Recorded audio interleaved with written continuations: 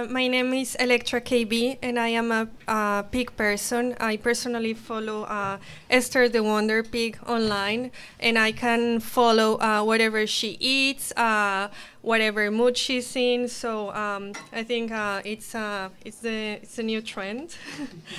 um, I am an artist. I'm based in Brooklyn, and I'm from Colombia. Um, I would like to show you first a trailer of my short film titled The Accidental Pursuit of the Stateless. It's two minutes long. Uh, it's, a, it's a shorter version of the uh, short film that was exhibited here uh, in New York this past fall, and uh, then I'll talk about gifs. Will it be possible to turn off the lights?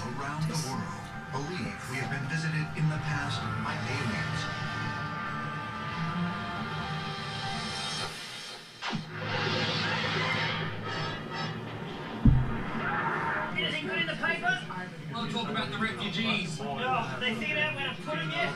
And at this rate, they'll be asking us to take them into our own homes. Welcome to the border. A totalitarian state.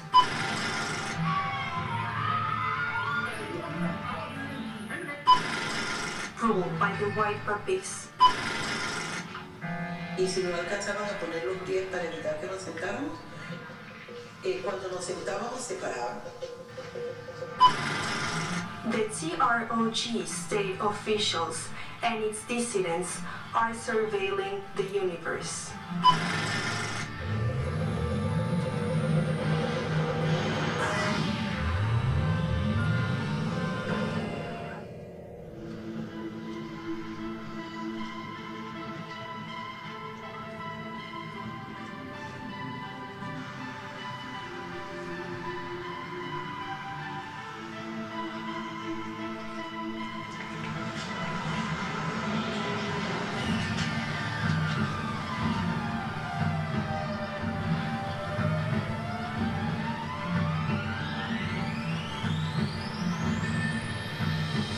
Army of bears, which attack with my brain networks. They study your patterns of behavior and quests for liberation.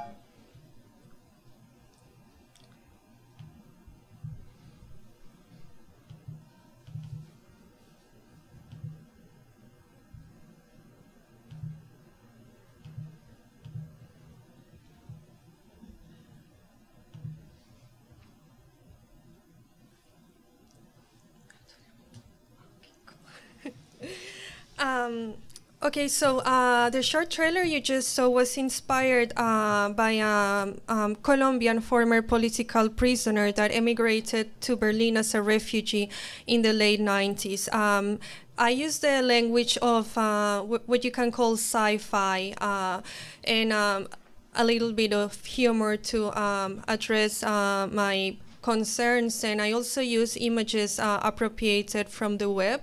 Um, my my mediums of work are my all my work is performative but i do work um, as uh, anna was saying i do uh, work a lot with textile. I work with video. I work with gif and i, I do say gif.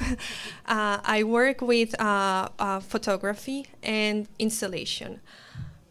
Um, the loop that, that you see playing uh, it's a selection uh, I, I should thank uh, Patty Johnson, uh, who commissioned these uh, particular gifs uh, for the show she's curating. And uh, it's the first time I see her in person, but thanks to her and to Anna McCarthy, um, I'm here today.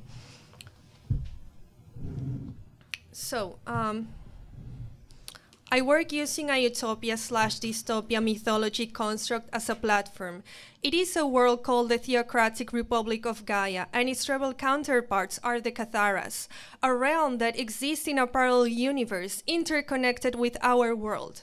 For me, a GIF is a world inside a world. The internet is in itself a parallel universe. People get married, talk, shop, hire killers, buy weapons, and have sex in this parallel universe. It is a mistake to think of it as an extension of our material world. The internet is a world by itself, with its own government regulated order, with its own insurgency, and with its own currency. I'm talking about the hyper surveilled surface with its army of bots, the deep web, the dark net, and Bitcoin. The GIFs are a low resolution, poor image, and using the language my former professor, artist Hito from her essay in defense of the poor image, I would say that the GIF, as other poor images, are the lumpen proletarian in the class society of appearances, ranked and valued according to its resolution. In an increasing high technological society of disposable and insatiable thirst for the latest technological advancements, value is placed over glossy, hyper real, Hollywood-esque aesthetics. The GIF is the destruction of that, but is also an immediate high, offering instant gratification. The GIF is the desire for the immediate and easily accessible. It is a byproduct of democratic capitalism. As Tocqueville said, humans in democracy have a taste for immediate pleasure and indolent ambition. In his book, Democracy in America, Tocqueville talked about how people in the newly formed democratic society would prefer to read summaries or instruction manuals instead of books, how everything had to provide immediate satisfaction. He talked about the loss of pleasure, introspection and contemplation in the high arts, literature and music, and its replacement by older digested, transformed, synthesized versions of themselves to produce the most gratification in the least amount of time. The GIF, it's used both subversively and by corporations. It is truly populist.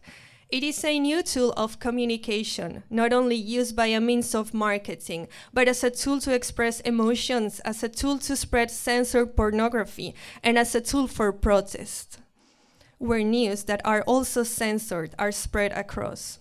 It is a microcosm inside a microcosm, compressed in a few seconds that runs rampantly.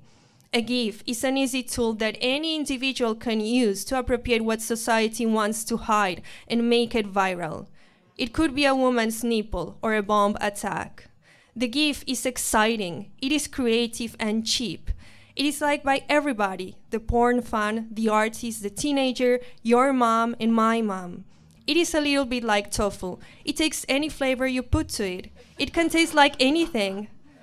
I see a world where video is being replaced by the GIF, where YouTube becomes obsolete, where images are circulated faster and faster, more democratically and free. I see a future where these might be repressed and controlled too, but right now we can run wild with them. Um, so I uh, with the time uh, restrictions we have, I've prepared a selection of these four gifs.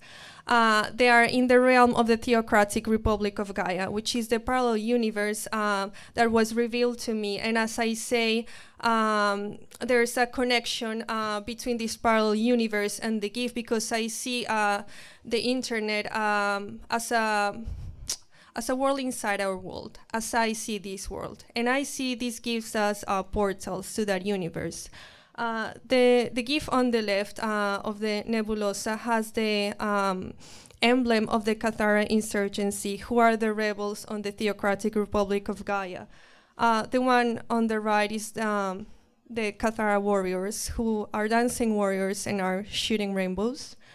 Uh, the one on the left, it's actually um, there are these flying uter uteruses that I, that I appropriated from the web, from a website of a doctor. Uh, he had these pictures of uteruses, and I uh, animated it, and I made them flying. And uh, this realm, um, as uh, I think it was said in the trailer, um, it the world it's akin to pre-Columbian territory. So um, it is a fantasized version of uh, Mayan and and Aztec um, worlds, precisely on this particular one. And uh, this, uh, ano- this another version of a Cathara insurgent, and she's uh, throwing up uh, threats. So she's in a state of catharsis, uh, and it symbolizes uh, everything that women have repressed uh, through history. And talking about cats, I she's vomiting this yarn because I specifically thought about. Um, this being symbolized as a furball inside a cat, and uh, everything you repress starts uh, growing and growing and growing, uh, and then you have to start that process of, of catharsis, of returning it. And I also saw there was a lot of flying penises online, and I started Googling flying vagina, flying uterus, and there were no flying ones, so I really wanted flying uterus. Um, okay, uh, the last one um, is um, colibris, mockingbird. Uh, I hummingbird. I don't know the word in English. Okay, uh, this also. Uh, I mean, I as as you're seeing i work with uh, images that, that i film that i perform that are documentations of, of research uh, i do and uh, and I intersect them with uh, images I appropriate online. So this uh, hummingbird is uh, appropriated from the web as well. Um, these are all uh, bits that are on the same thread of as the uh, as the film I was telling you about, the accidental pursuit of the stateless, and these are all silly things for me. So this silly thing is just this about this um, hummingbird um, being eaten by this Cathara insurgent, and then um, the hummingbird eats her in return. Um, so, lastly, um, I will show you. Um, I will show you another bit of uh, the accidental pursuit of the stateless. This is just a minute long.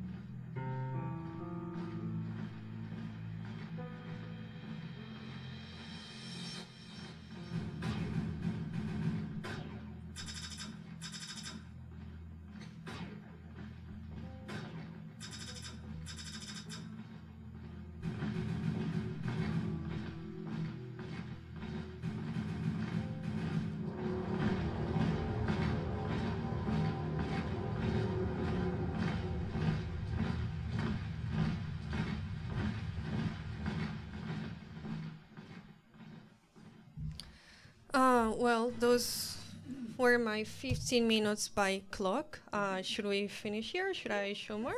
Okay. Okay, cool. Thank you very much.